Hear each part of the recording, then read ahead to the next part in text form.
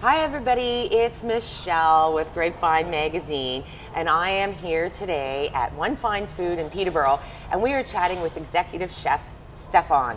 Good morning, Stefan. Good morning, Michelle. How are you? Great, thanks. I wanted to let all of our readers um, and, of course, folks watching our YouTube channel Yeah. know a little bit more about One Fine Food here Mm-hmm. in Peterborough.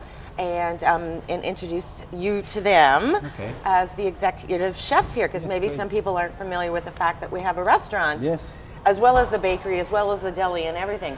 So I wanted to ask a few questions. Um, what inspired you to become a chef? Um, you know, growing up in Germany, uh, uh, after you finish school, uh, you go to an employment office. Um, they kind of assess you, your interests and everything. And I came up as a, I could have been a baker, a hairdresser, or a chef. uh, I'm happy I didn't choose hairdresser.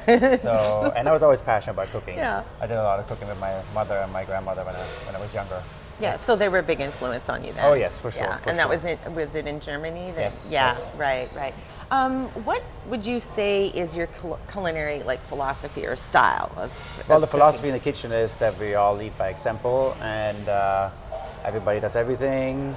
Um, we do. We like to make everything homemade and from scratch. Uh, don't really use any uh, many convenient products. Uh, That's we the make best all way. our own pasta, and we're lucky we have the market, and we can use our butcher and the bakery as well. They make everything homemade, so that's So, so you're using everything within one fine food Oh, yes, in the sure. kitchen Yes, as exactly. well. And we like to support uh, local uh, as well. So we have lots of local farmers that we work with. That's well. great. That's great. Keeping it local, you know, that 100 mile radius or Yes, for whatever. sure. Um, could you share a memorable kitchen experience that sticks out for you um, over the course of your, your culinary?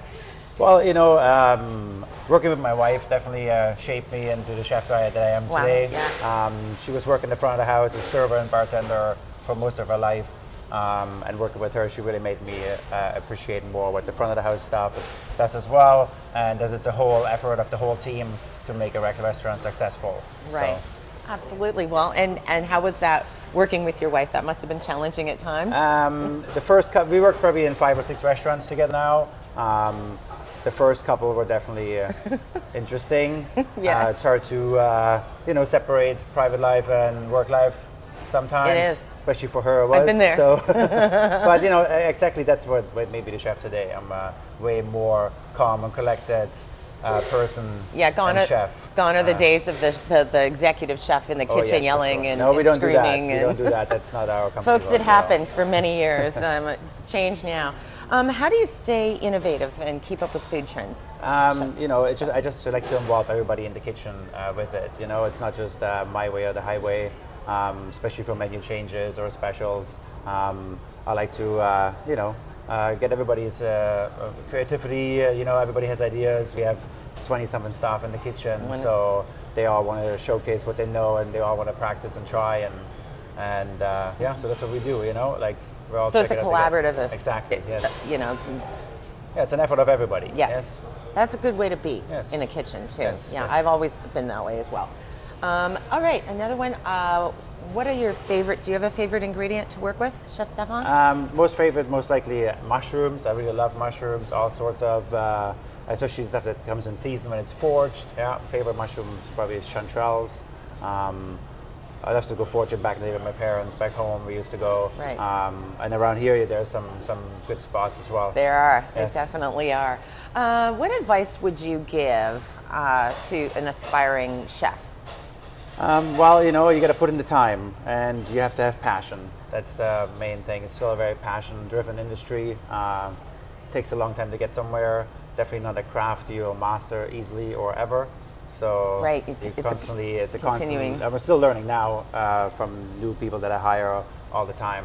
Um, so you got to be passionate, put in the time, and you got to work for. Uh, if you want to be a great chef, you got to work for great chefs. Right, right, and you got to start down on that Yes. rung yes. on the ladder, and then kind of gently work your way Exactly, your way up, exactly, and that's that's one of the only ways to to do it to be a chef. All right, well, it's been lovely chatting with you, Well, getting you to know you, um, you. for our for our readers of Grapevine Magazine. Yes, One it was a Fine. Foods on the front cover this fall, folks. Um, the this whole story is inside. Uh, you can read more about One Fine Food, and if you are in the neighborhood of Peterborough, by all means, drop on by. We've got the restaurant, you've got the bakery, we've got the deli, the butcher, um, all these fresh vegetables, Yeah, and then a lot of other things here to offer. So it's a, it's a really a, a wonderful place to come and shop. And it's one-stop shopping. Yes, exactly, right? and you can eat too, have dinner. Yes, All right. Well, thanks so much. Well, thank you so much, Michelle. It was great having me. It was Thank you. great chatting with you today. Thank you. Thank you, Chef Stefan.